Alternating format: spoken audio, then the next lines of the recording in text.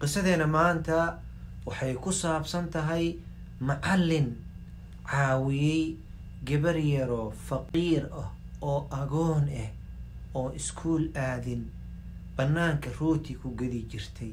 Haddaba macallinkaas siduu u caawiyey gabadhaas. Gabadhaasna halkay ku dambayn doontaa macallinkaasna maxaa ku dhici doonaalxamdulilah wsalaatu wasalaamu calaa rasuulillah. Walaala joogtaan. Assalaamu calaykum waraxmat ullaahi wabarakaatuhu. Jimco walba iyo qiso cusub. Walaaleel qisadeena maanta waa qiso waaqeca waxay dhacday sideetan sano ka horay dhacday. Exactly sideetan sano ka horay dhacday. Qofkay ku dhacday ayaana ka sheekeeyo buuka qoray. Waxaa jiri jiray macalin dhigi jiri maath ama xisaabta dhigi jiri caasimaduu joogay adiga kadib wuxuu dalbaday in la wareejiyo. Waxaa lagu wareejiyey kadib tuulo. Tuuladii markuu tegay iskuula la geeyey ardaydii markuu arkay wuxuu go'aansaday systemka dhigitaanka xoogo inuu wax bedelo ilmihii wuxuu bilaabay marka maalin walba qofkii su'aal ka jawaaba inuu hadiyo siiyo maalin maalmaha ka mid ah marka ilmihii wuxuu weydiiyey su'aal oo ku saabsan xisaabta. Inta kalaaska ku jirto hal qof ka jawaaba waa la waayay. Gabar yar oo banaanka taagan oo dariishada maqlaysaa gacanta soo taagatay. Macallinkii ugu fiiriyey markaasay jawaabtii sheegtay. Jawaabtana waa sax. Si sax ayay jawaabta u sheegtay. Macallinkii gabadhii uu la yaabay iskuul maa dhigataay maya maxaa qabatay meeshaana rootigu ku gadaa ilmaha markii iskuulka soo baxaana ka gadgaday lacagtaan qaadaa hooyadii aan ugeeya macallinka wuxuu yihi waayahay beriga kadib kalaasi markaan soo dhameey waa inaan kula hadlaan rabaayaha bixin. Gabadha meeshii fadhisay maysan bixin. Macallinkii u tagay wuxuu yihi maxaa waay qisadaada iga sheekay? Waxay tiri aniga aabahay wuxuu dhintay saddex sano ka hor anigana hadda waxaa jira sagaal sano saddex caruura ila dhalatay laba gabar iyo hal wiila ila dhashteen. Anaa meesha u weyn wax shaqeeya ma lahan.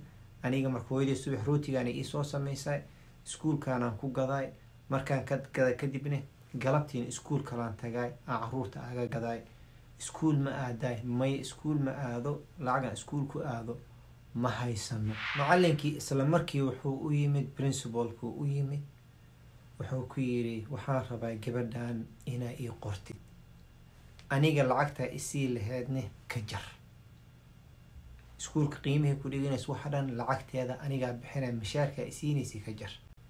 Principalka hayuu dhahay gabadhiiu kaxeeyey waalidkeedu u geeyey hooyadeedu u geeyey. Wuxuu ku yidhi gabadhaada waxaan rabaa inay iskuulka dhigato. Lacag ma haysti anaa lacagta ka bixinaya rootiga yaa gadaayo walaalkeeda ka yar hadda u soo dhiibuudha asiga ha gado ana koraanka ilaalina. Haddee wax idinka nusqaamaane anigaa idinku daraayo hooyadii isla markii waa waafaqday waayahayay tiri gabadhii maalintaas wixii ka dambeeyay iskuulkay bilowday. Walaalkeedii ka yarayna booskeedu fariistay rootiguu gadaayay. Waxaa dhacday marka gabadhii imtixaanaadka idaa markasta u sareyso fasalkii lixaaday gaartay oo elementaryga way dhamaysay waxay gaartay kii sagaalaaday gaartay oo high schoolkayga gashay dugsaray gashay macallinkii marka ilaa intaas wuu la joogay. Markii gabadha sagaalaad gashay macallinkii shaqo ayuu ka helay. Dibadda wadanka banaankiisau ka helay. Gabadhii wuu macsalaameeyey faamilkeeda wuu macsalaameeyey wax yar lacag wuu siiyey wuu iska baxay. Laba iyo toban sano kadib wuu soo noqday.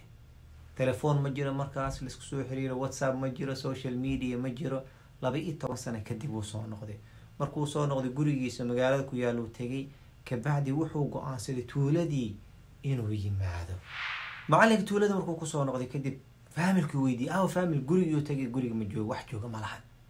Dadkii horeysa war faamil meeshaan deganaan jiriyaa arkay ee faamilkan goormay guureen. Intay degeen? Magaalada caasimaday degeen. Ninkii wuu murugooda wuu naxay wuxuu faamilkuu rabay inuu arko. Wuu iska soo noqday gurigiisu isaga soo noqday caasimadu ku soo noqday shaqadiisii riisku iska bilaabay maalin maalmaha ka mid a marka wuu xanuunsaday wiilkiisuu wacay wiilkiisaa u yimid isbitaalkaa la geeyey. Isbitaalka markii la geeyey kadib waxaa lagu sameeyey kashfaa lagu sameynayay gabar dhakhtarada u imaatay marka. Gabar dhakhtarada fiirisay way wareysatay.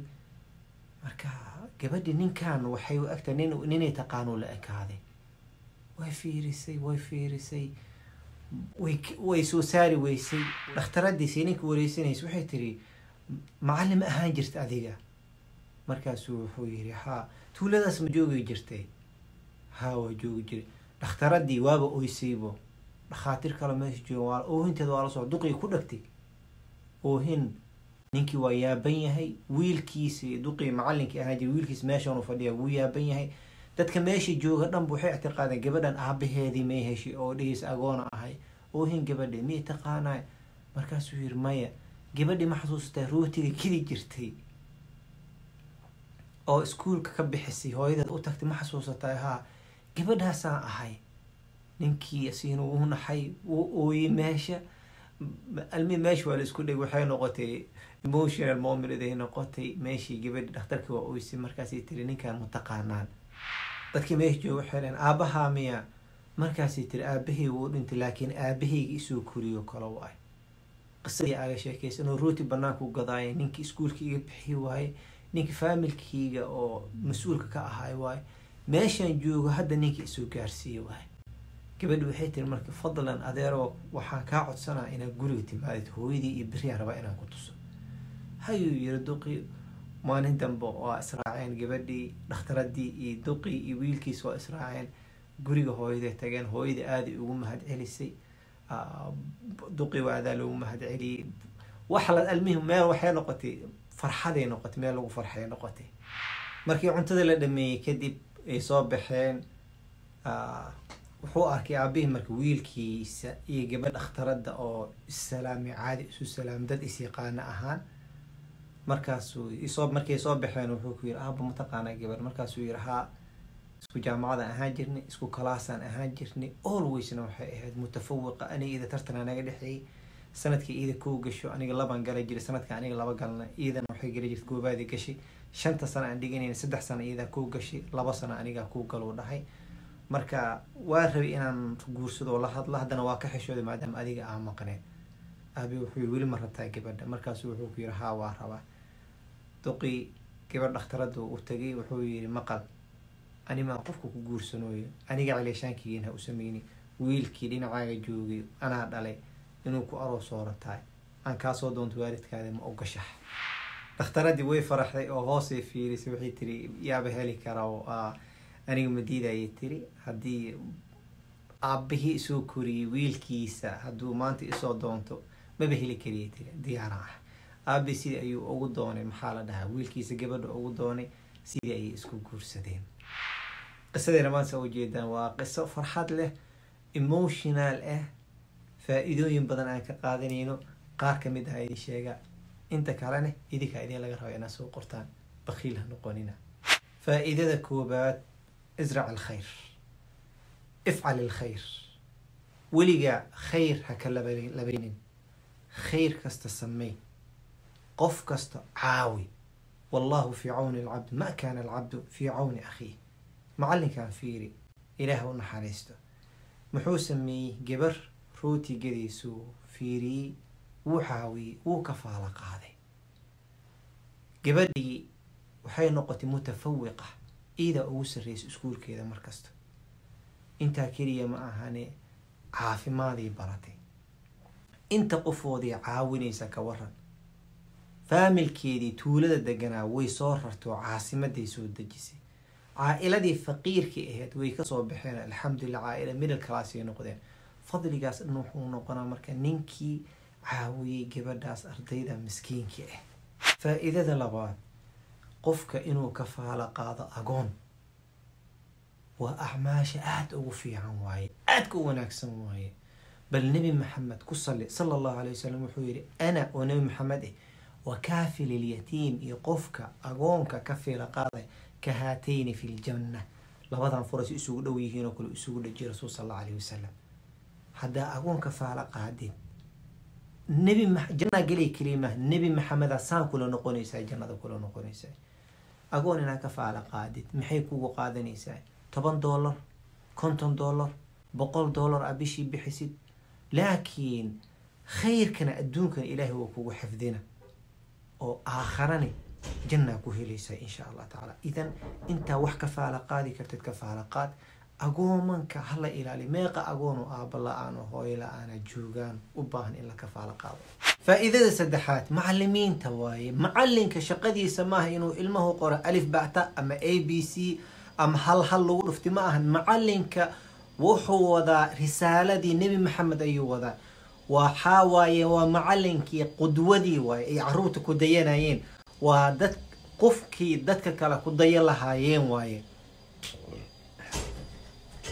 Sidaa darteed waxaa loo baahan yahay macalinka marka inuu noqdo qaa'id hadduu arko cunug daciife hadduu arko cunug wax u baahan hadduu arko cunug faqiire waxaa loo baahan dadka inuu ka warhayo qof walba wuxuu u baahan yahay uu garab istaaga aabbaa loo baahan yahay inuu noqdo. Ma ahan macalin meesha beja keliya u yimid inuu noqdo ma aha macalin shaqada inuu shaqadan sameynaya keliya dheh maahan. Cunugan waa ibni aadama wuxuu u baahan yahay inaa ogaatid adigaa lagaa rabay macalinow faa-iidada afaraad wanaag haddaa samaysid waxaa laga yaabaa adduunya inaa ku heshid aakhara intaa la gaarin. Markaa samaynaysa ilaahay dartiisa u sameey aakhara insha allah tacaala waa ku helaysaa adduunyana waa ku helaysaa keligaa ma ahane xataa faamilkaaga laga yaabaa inay helaan. Hadda ninkan fiiri gabadha isla markii markuu ogaatay aabihiis inuu yahay horii ka aqbashay waa aragtay qisadii ku jirtay suurat alkahf ku jirtay.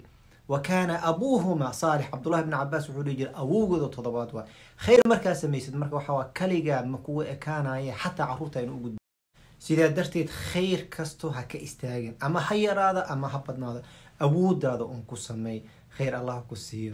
Faa-iidada shanaad iyo faa-iidada lixaad toddobaad sideedaad sagaalaad tobanaad adigaa lagaa rabaa soo qor bakhiil ha noqonin jazaakum allahu khayran. Baaraka allah fiikum وإنه جمعة سو سقط إيو قصة عصب إلى جمعة سو سقط لاقانا محالا يرهبا لكيسو كفا إيديسو. كو عمل فال ولا لها كرنة وسي قد بي. السلام عليكم ورحمة الله وبركاته. لا إله إلا الله محمد رسول الله. لا إله إلا الله محمد رسول الله.